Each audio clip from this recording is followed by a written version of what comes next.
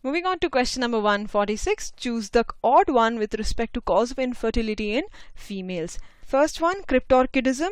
It's a condition which is seen in males and it is a condition in which one or both of the testes fail to descend from the abdomen into the scrotum.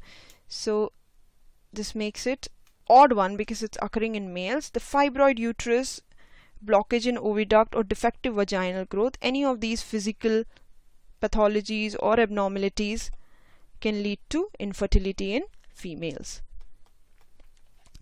So these are okay. The odd one here is cryptorchidism which makes it our answer. The answer is option number 1. Students, question number 147 was which of the following are possible ill effects of using contraceptive devices? The side effects or the ill effects of using contraceptive devices, it's given in a paragraph format in NCERT. Nausea, yes, it can occur.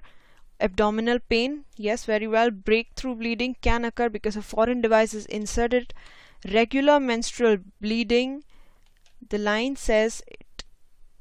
irregular menstrual bleeding is apparently seen or can be caused due to contraceptive devices. Breast cancer, yes, there are even chances of development of cancer if uh, contraceptive devices are used. So, except for D, all the options are correct. So, A, B, C, and E. The correct answer is option number 3. Question number 148 students. If we consider GIFT and ZIFT, fertilization in former and latter occur. So in vitro or in vivo in various combinations are given. In GIFT, that is gamete intrafallopian transfer, fertilization of sperm and egg occurs inside the female body. So it would be in vivo fertilization. While in ZIFT, the fertilization of sperm and egg occurs in a petri dish that is in a laboratory. So that would be an in vitro fertilization. The correct option here is option number 2 in vivo and in vitro for GIFT and ZIFT respectively. I hope you got this right. Alright moving on. Question number 149 now.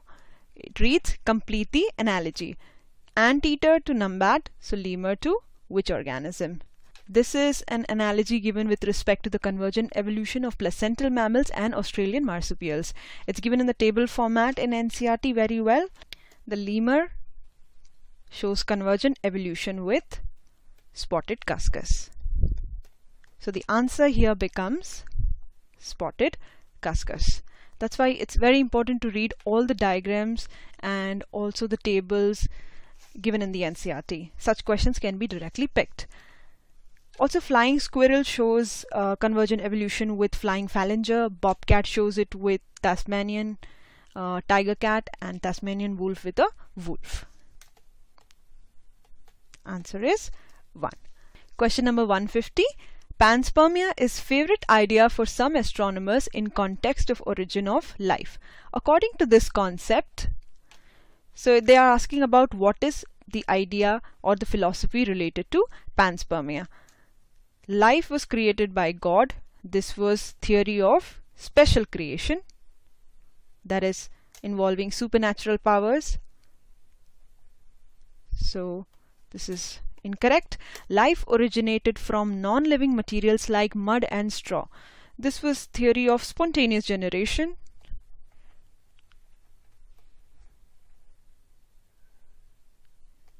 And is incorrect life came on earth as spores from some other planet.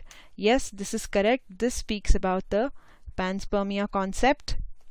According to this idea of panspermia, uh, life forms came on earth from seeds or spores which were deposited on earth by which were carried on earth from some other planets. And lastly, life arose from some pre-existing life. This was theory of biogenesis and it's very different from panspermia concept. So the answer is third. This is the correct option.